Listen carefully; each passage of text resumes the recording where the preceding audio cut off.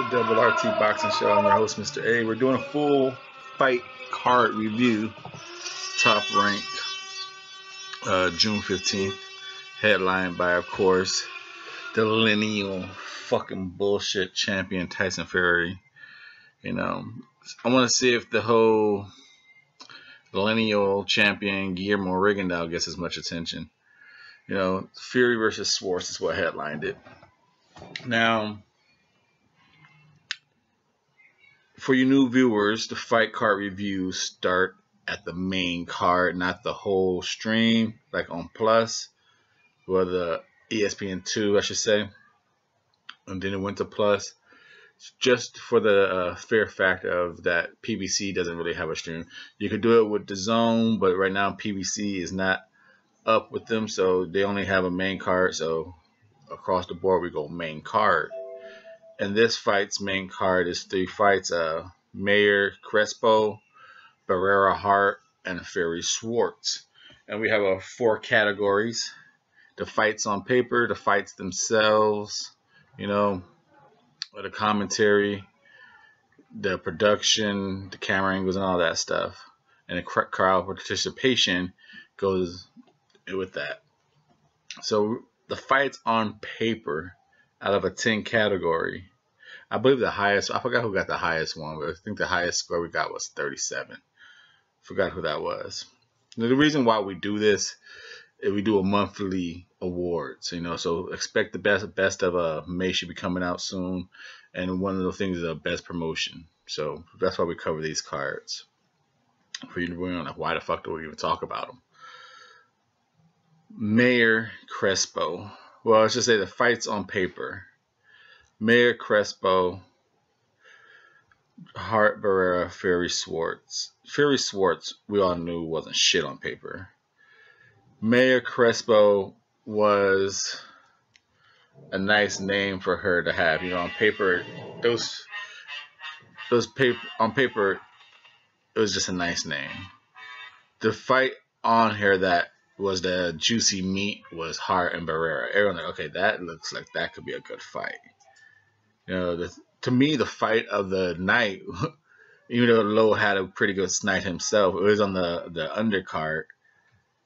It, it might have been the main event for the undercard. I'm not too sure. It was uh, Andy Vincent and Albert Bell. That was the fight of the night. That was a good fight, but doesn't count on the review here, so no points for that. So on paper, I gave these two out of three. To me, were kind of shit fights. I thought I thought Mayer would do exactly what she did. Uh, but Fury was shit. So I'm gonna give those fights like a six. Barrera and Hart say give it a six. But on paper, I gotta say that Mayer fight, it had its moments due to the first back that Crespo first two rounds came out just with a game plan, you know, make her reach, make her pay, fucking her up with that overhand right. He's cracking her, cracking her now. I give it a lot of credit to Team Mayer, uh, Al, her, her trainer, coach, father figure. Gave her good instructions. Hey, you know, slow it down, step back, throw uppercut. Because I think around after round four, after she, uh, Mayer just kept getting hit with that damn overhand right.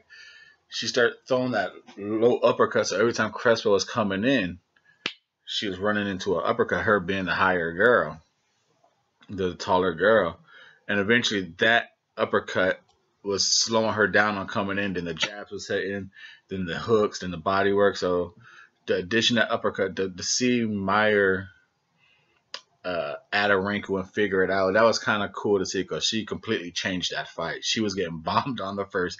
You're like, oh shit, she might lose this fight because she was getting. She'd throw one good one twos and bah, bah, bah, she'd get rocked. They're like, oh shit, my and she was getting hit easy, easy, clean, and effective hitting. You know, not just hits that just scoring points but doing no damage. The whole category was covered when Crespo was hitting Mayer aggressiveness, clean hitting, aggressive hitting, repeated. It just show shit. Might be an upset, but Mayer pulled that out. So that was good. Barrera and Hart. that has some moments. You, you see, Barrera is not quite the same. You see, Hart is aggressive. You know, and Hart was always that little sloppy, get it done to, but he looked really bad to me. like, was it the fact that ESPN commentators was really making a note of it, or just like that night at 175 he couldn't handle the weight, and he just the sluggishness made his flaws look even worse than before.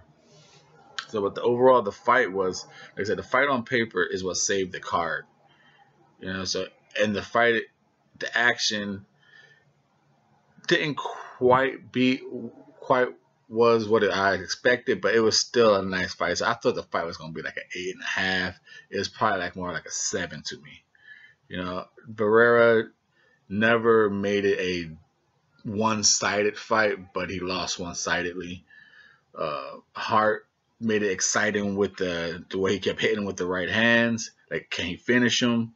So it had an infinite, but then, like I said, then just with the holding and the way Hart smothers his own work and his um they commentated on it and I loved it though, even though it's, it's fucking kind of awful to see. That I Duke an uppercut from way the fuck from across the ring. He did it twice. If he ever hits someone with that, it'd be awesome. It, that'd be like a fucking straight like you doing video games and you're like, fuck yeah, I landed that bullshit move on this fool. So the uppercut looks vicious, but I, I give that fight like a seven. It was, it was. I I, I like watching all its ugly ugliness that made it a beauty fight. And the Fury Schwarz, we knew it was a shit fight going in. We knew he we expected him to knock him out, like dude, because he he he can't say he's all this, this, this, and this, and then not knock Schwarz out. He needed to knock Schwarz out. Schwarz was handpicked to get knocked out, and given give it credit, Tyson Fury did the best he can do. He he he showed you know he he made it interesting. He made it memorable beating this bum. I'm sure Tom Schwarz ain't a bum, but he ain't number two. He ain't he ain't that ranking that he got. You know, it's good to see right here on the Double RT Boxing Show that when we say the best fight the best, that's considered one through fifteen. Those are the best for you know. People like, oh, he sucks. Well, hey, that's why they're getting knocked off. He don't deserve to be number one. Don't deserve to be number three. But you know, he's the best right now, and boom, back to the bottom you go. It's good to see a lot of people are getting their shots, and at the end of the day, you know, like get the fuck out of here. You know, Schwarz got his shot, get out. Uh, Mamoon got his shot. Uh, Tokakar, Toka Kahn Clary got his shot. Like these fighters climbing the ranks and then bow, just like, hey, gotta go. You're not quite what your ranking said you was. You know, um, Sarwat Talakoram against Artem Dalakian. Number one got knocked out, TKO. So these people get their shots and they fall. But the, overall, those fights, I gave that Fury fight. That thing was a mess. But Fury punch selection, his knockout, his his agility, I guess saved it because for the second round he did show some agility against Schwarz. I get it, but he looked like okay, he looked nice. So we go to five. We go it, you know, we go to six in the game a knockout. So the fights, we would get them at a 40. We would give it a six, a seven, a 10, I should say. So, I mean, um, and a six, that's what, 19 about a six point something average. So we're just gonna say a seven. We'd be nice. We get the fight seven out of ten. Seven out of ten. What they were on paper and what they end up being. The crowd participation. Um, they were they were. I give it. They they were pretty good. They they they rooted Mayer on the best they can. You know, with the crowd that was there. Uh, Barrera and Hart, I would say they were entertained. They booed a little bit for the holding, but for the most part, they were entertained on that. You know, the crowd wasn't like fantastic this whole fight. The whole Tyson Fury thing that went that went pretty well. You know, he had he had the traveling, so we give the crowd the crowd participation was a nice normal. And we give it a seven out of ten on that one. So we're looking at a what, fourteen out of twenty, sitting okay, okay. It's fourteen out of twenty. Production and commentary, 20, 40 points left. No, uh, 20 points left. I'm sorry, 20 points left. And this is where the show fucking just just shits down our mouth, man. Shits in our fucking ear holes. At least for me, like I get it. It's a pump up show. Commentary was pretty pretty good, man. They were all over uh, Mayer getting cracked with the right hand. They were uh, explaining what she needs to do, how Crespo is coming in at angles, setting it up with the body work, then over the top. They were uh, they were breaking each fight down. Hart, his flaws, his his his smotheringness, his can't attack, can't keep distance. Barrera, um, not quite looking the same. Everything I want, it kept me entertained, and you know. But then they get to Tyson Fury and the whole they they they they sugarcoat the fuck out this performance. Oh yeah, you know, they he looked really good doing a lot of stuff. And Tim Bradley saying he could he do that against anyone, beat anyone.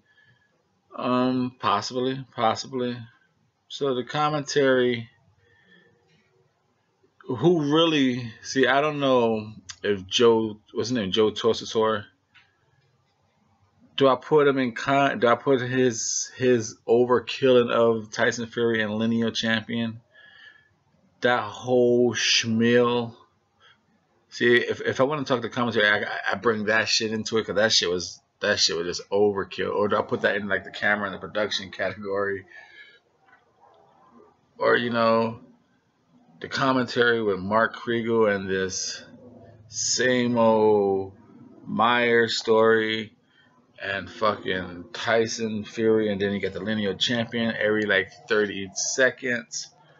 So it's like, fuck, do you do you do you put all that into the commentary? I think I go with that in the production. So commentary, I gave it like a seven. I, they always Andre Ward and Timothy Bradley, for the most part, I, I like how they, I like how they talk about fights. You know, two fighters. They Tim loves the body the body.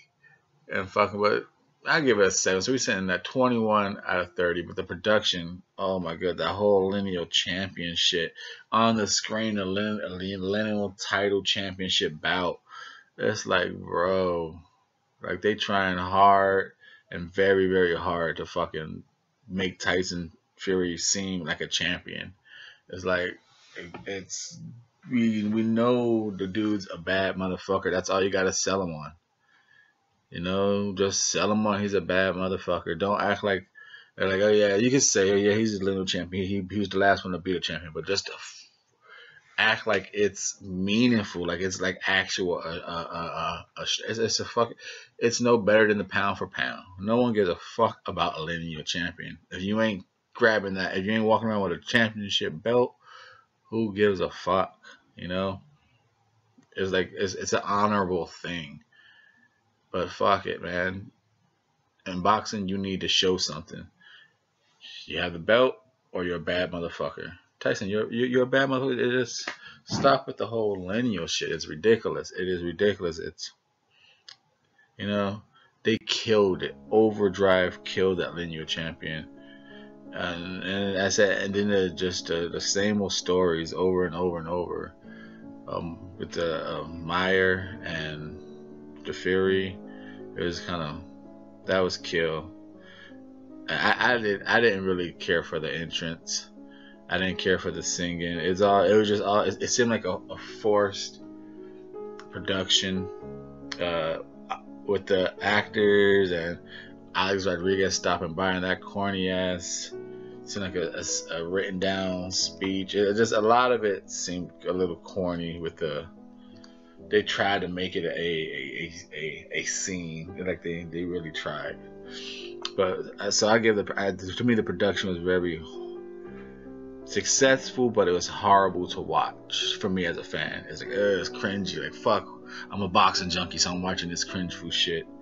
So I, I give it like a, like I said, on one on one hand, it was picture perfect production for what they wanted to do. But as a boxing junkie, having to get through that shit, on the other hand, was cringe. Like, do you, do you give them a high score for promoting the fuck out of them doing well?